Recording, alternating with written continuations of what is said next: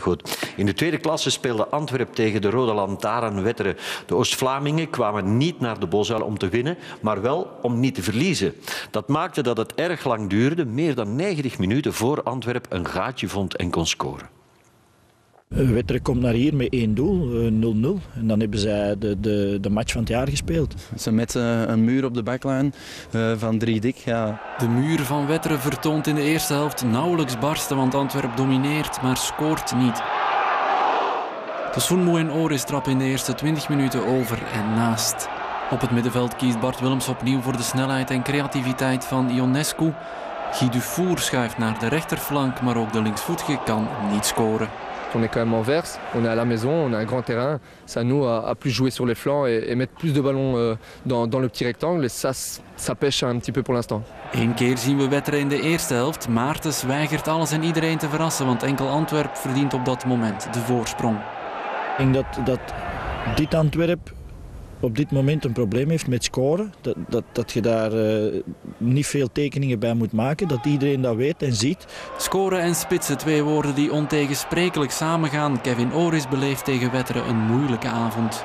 Als een spits niet scoort, dan, uh, dan uh, is dat een beetje... ja, dat is niet goed voor het vertrouwen natuurlijk. Maar ik heb een afspraak met de trainer dat ik zo, zoveel mogelijk werk verricht voor de ploeg. En zoveel mogelijk oorlog maak, zodat anderen daarvan kunnen profiteren. En mijn, mijn goaltjes, ben ervan overtuigd, die gaan wel terugkomen. Het is ook menselijk dat een Kevin Oris bijvoorbeeld is wat minder scoort.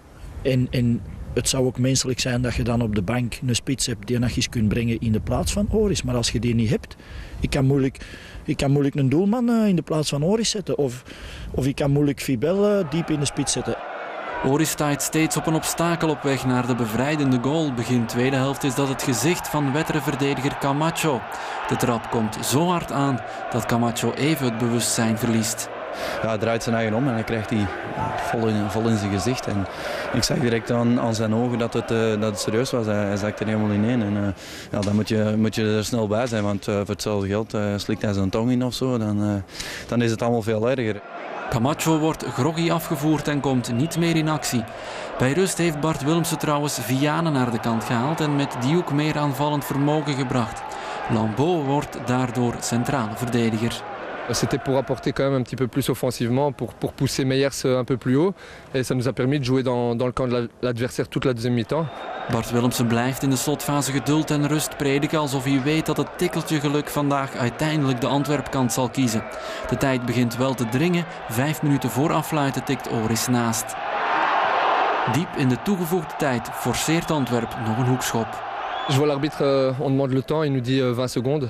Je dis bon bah c'est le tout pour le tout. Lambeau kiest voor de juiste positie en timing.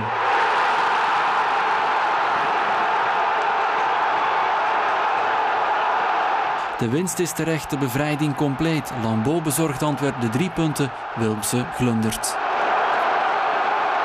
Het oog van de naald, kruipen jullie daardoor? Vorige week eh, pak, verliezen we punten in de laatste minuut. Daar spreekt dan niemand over en nu kruipen we door het oog van de naald. Dus absoluut niet akkoord. Het is dankzij de schitterende fans die blijven de, de ploeg aanmoedigen en, en duwen en duwen. En de, de, de mentaliteit van de groep dat we drie punten pakken. En dat is niet door het oog van de naald. En dit is groot nieuws. Mogelijk komt er vrijdag een einde aan het 40-jarige voorzitterschap van Eddy Wouters bij Antwerp. Dus de man die als voorzitter het langste in functies uh, in de geschiedenis van het Belgische voetbal. Dan vindt op de Bosuil namelijk een bijzondere algemene vergadering plaats. Op de agenda van die bijeenkomst staat één punt. De functie van enkele huidige bestuurders van de VZW RAFC.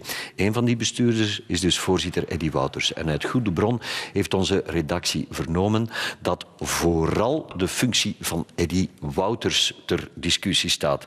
Wouters is 78 en sinds de komst van de groep Verhagen in het Antwerpbestuur is zijn rol als voorzitter veel beperkter dan voorheen. Mogelijk zal Eddy Wouters wel erevoorzitter worden.